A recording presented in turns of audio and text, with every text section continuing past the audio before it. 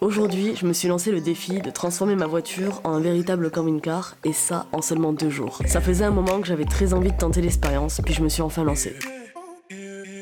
Après plusieurs jours de réflexion, le deuxième défi était de garder la banquette arrière et que tous mes modules tiendraient dans le petit coffre de ma 206. Et la première étape de cet aménagement a été de mettre mes idées sur papier avant d'enfin pouvoir attaquer les travaux.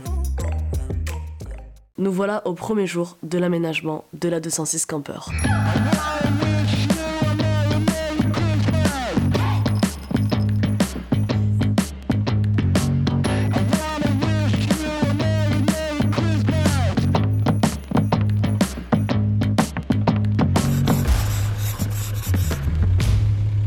Avant tout, j'avais évidemment besoin de bois. Et pour ça, je remercie l'entreprise Vanmania de m'avoir donné des chutes de contreplaqué pour réaliser mon projet. Et comment te dire que arriver là-bas, c'est très honnêtement le paradis du van.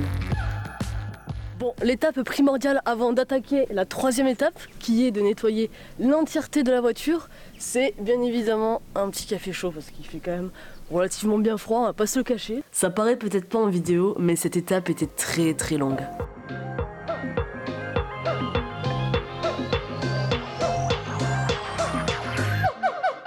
Une fois tout le ménage terminé, la dernière étape de la journée était de prendre toutes les mesures. Et ça, c'était un moment très délicat qui allait déterminer toute la suite des travaux.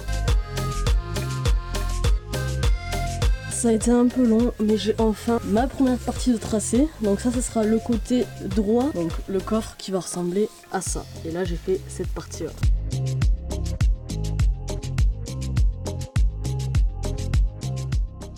Bon, malheureusement, le peuplier, il n'y en a plus, j'ai fait. Et du coup, il reste ce bois-là. Il est super lourd. Je vais faire la partie 3, celle qui va se mettre sur les sièges avant. Si c'est un peu plus lourd, c'est pas trop grave. En revanche, on va faire comme un sommier de lit, c'est-à-dire qu'on va venir couper les bandes à l'intérieur pour pouvoir justement alléger le poids au maximum, puis aérer le matelas, euh, c'est pas plus mal. Donc voilà, j'ai plus que mes... ma troisième partie à mesurer. Et après, ben, on verra ce qu'on fait. Je viens tout juste de finir la dernière planche et il est 15h15.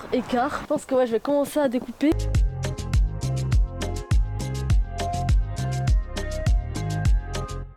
Ça y est, il est 17h30 et j'entame ma toute dernière découpe. Et tout ça, c'est en plus, euh, on verra pour les prochains projets. Donc voilà, demain, il me restera plus qu'à faire l'assemblage, à alléger le sommier en faisant des trous dedans. Et demain, j'irai aussi dans un magasin de bricolage pour acheter les charnières, enfin tout ce qui manque. Et normalement, je dis bien normalement, je pense que demain, ça sera fini l'aménagement. Donc voilà, je suis super contente. Demain, tout ça va prendre forme, ça va être trop cool. N'hésite pas à t'abonner, à activer la petite cloche pour ne pas louper le deuxième et je te dis à très très bientôt dans la prochaine vidéo. Ciao